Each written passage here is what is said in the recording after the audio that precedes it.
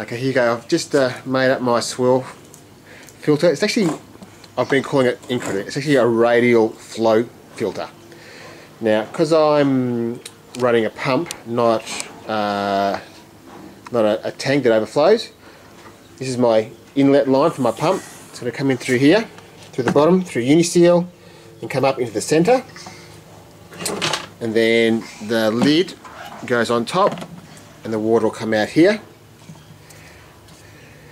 and then from there it'll flow back down underneath this bucket all the uh, gunk will collect to the bottom and then back out through this pipe here so a slight modification on most of them you see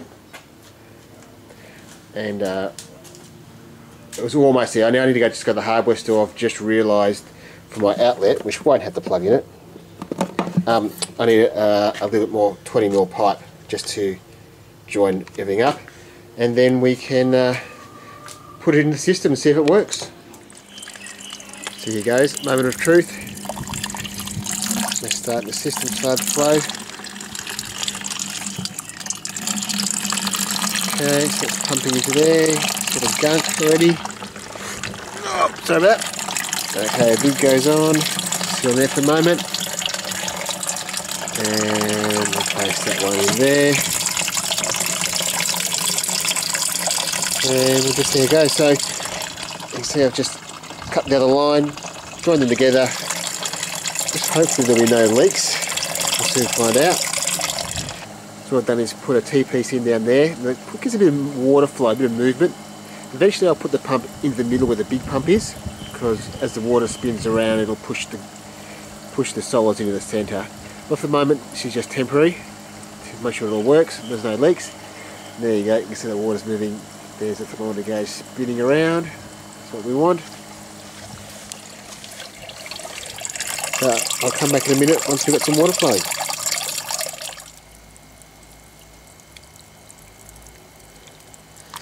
Well, as you can see, the concept's working quite well. Water's dribbling in, and water's coming out. This Uniseal is working really well. It was the second one I drilled. My first one though, I drilled and I made a bit of a heck of a mess of it, isn't working so well. And as you can see, it's a dribbling mess. Uh, I think I may have to go back to the hardware store and get another drum and start again. But in theory, it works. So it's, uh, it's running there. I can't leave it running like that, unfortunately, because I'll uh, drain my tank pretty fast with that amount of water coming out. But I'll at least let it uh, it run till we get uh, a flood through because they haven't had a flood for a little while.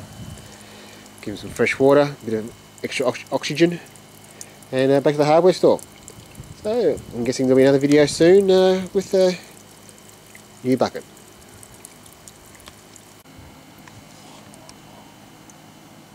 Okay, just back from the hardware store.